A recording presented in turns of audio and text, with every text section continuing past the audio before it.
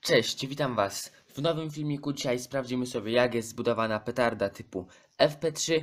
Tutaj mam akurat FP3 od firmy y, Gao Fireworks. No i zobaczymy jak jest taka FP3 zbudowana, co ma w środku i oczywiście to co będzie w środku sobie przetestujemy, zobaczymy jak się spala lub cokolwiek innego robi. Więc zapraszam do oglądania.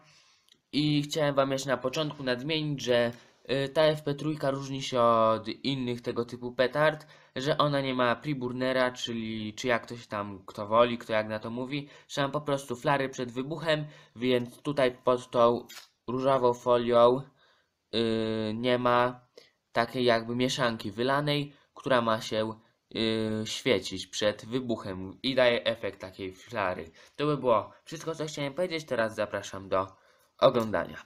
Oczywiście wszystko będzie teraz pokazane w przyspieszeniu, jak ja rozkładam.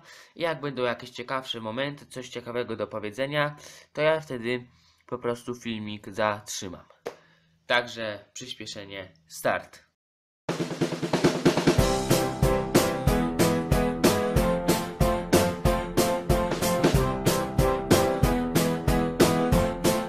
Petarda po rozcięciu początkowym, początkowemu rozcięciu wygląda tak. Jak widzicie ma bardzo gruby korpus, dlatego też jest taki mocny huk, gdy taka petarda wybucha. Więc teraz spróbujemy sobie to delikatnie otworzyć i zobaczymy jak to wygląda. Ale chyba jeszcze nie rozciąłem ze wszystkich warstw papieru, jak widzicie. Jeszcze troszkę mi tu zostało, muszę rozciąć więcej. Także znowu przyspieszenie i widzimy się, gdy już to rozetnę do końca.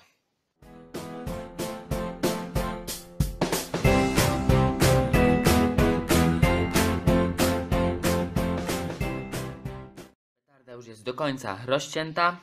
Yy, wygląda ona dokładnie w ten sposób po rozcięciu. Może uda mi się zoomować. O. A zresztą lepiej będzie chyba, jak po prostu nie tracąc jakości, przysunę Wam tutaj. Także od czego by tu zacząć? Tutaj mamy yy, zatyczkę górną, która w środku siebie ma jakby taką dziurkę przez środek tej zatyczki, tylko nie mogę Wam albo w taki sposób Wam tu spróbuję to pokazać. Przez który idzie przez środek takiej zatyczki górnej idzie ląd, który idzie, idzie sobie przez ten beton i gdy już dochodzi do tej komory, która jest wypełniona prochem, czyli do tego miejsca, po prostu zapala tą mieszankę. Yy, dobra, wróciłem z powrotem. Musiałem na chwilę wyjść na pole, ponieważ tam yy, ktoś dzwonił do bramki, no ale już się wracam i dalej objaśniam. Skoń, skończyłem chyba na tym, że gdy po prostu iskra z lądu przedostaje się do tej komory pomiędzy dwoma zatyczkami, proch się zapala, no i po prostu ciśnienie, które jest wywołane jego spalaniem, rozsadza kartonowy korpus, no i dlatego mamy huk. No i myślę, że tu nie ma nic więcej do tłumaczenia. No i oczywiście zatyczka dolna także z betonu, gipsu, zależy chyba od importera co on tam daje, ale nie wiadomo do końca co to jest, przynajmniej dla mnie. Ale pewnie jakiś rodzaj betonu. No i po prostu ona też jest potrzebna po to, żeby nasze ciśnienie nie uciekło z petardy. Więc gdybyśmy skruszyli na przykład górną albo dolną zatyczkę i odpalili ten proch, to nie zrobiłby, to nie byłoby huku, bo by korpus nie rozsadziło, tylko zrobiłby się gejzer. Także za chwilę, jak już to sobie przesypię na karteczkę yy, proch, pokażę Wam potem, jak wygląda spalanie tego prochu i jak na przykład łatwo można sprawdzić sobie, czy faktycznie ten proch wywołuje wzrost ciśnienia, który rozsadza korpus petardy.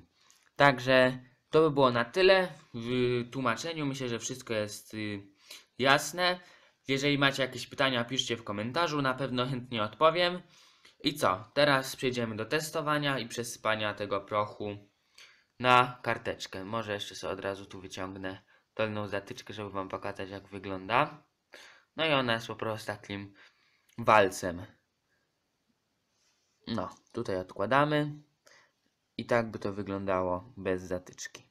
Za chwilę sobie to wyciągniemy, też ostrożnie, bo chcę Wam pokazać ten ląd, jak to wygląda. Że faktycznie, to że widzicie, ten ląd jest bardzo brudny.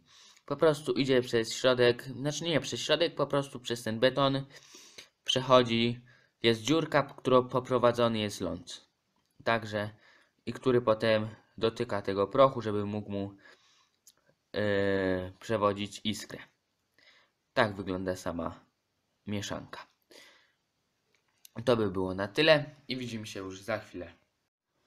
Więc tak wygląda petarda już po odsypaniu prochu.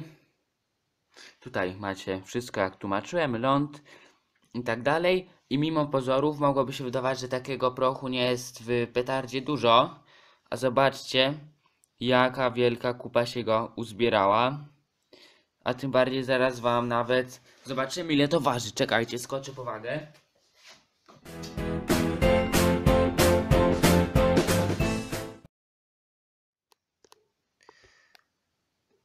Petarda FP3 Krachman ma dokładnie 3 gramy prochu fotobłyskowego w, w środku. Więc no jest to tyle ile na przykład w TXP 859 Super Cracker od Triplexu. Jak dla mnie to jest dosyć sporo. Naprawdę 3 gramy mieszanki fotobłyskowej to już w mocnych petardach tyle jest. Na przykład w Dumbumach jest niecałe 5. No ale wiecie, to są nieco mocniejsze już petardy od FP3. Także tutaj wagę sobie na bok odkładamy. Ja sobie wyciągam ląd z tego betonu. No i tak wygląda wyciągnięty ląd.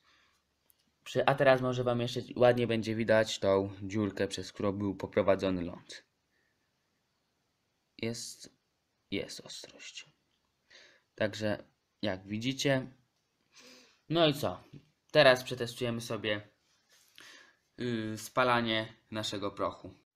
A żeby nie było, że Was oszukuję, na Waszych oczach zrobię najprostszą petardę hukową, jaką można po prostu zrobić, także przyspieszenie start i zobaczcie, że nie potrzeba super mocnych korpusów, żeby otrzymać całkiem przyzwoity huk z petardy.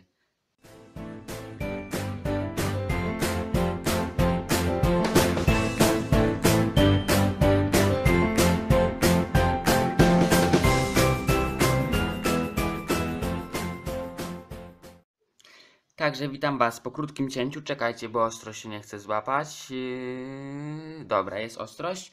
No i zrobiłem w najprostszy możliwy sposób sobie taką oto petardkę, po prostu proch zawinięty w papier, owinięty kilkoma warstwami taśmy, zwykłej takiej pakownej oraz yy, malarskiej, czyli takiej jakby papierowej. Tutaj jest mieszanka prochu, którą sprawdzimy sobie jak spala w dzień, która zobaczymy i sprawdzimy jak spala się w dzień, a tu jest mieszanka prochowa, znaczy mieszanka fotobłyskowa, której sprawdzimy spalanie w nocy.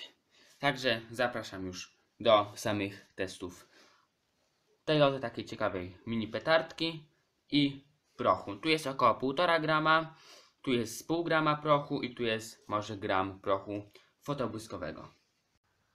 Tak więc sprawdzimy sobie w jaki sposób spala się proch FB w petardach typu FP3.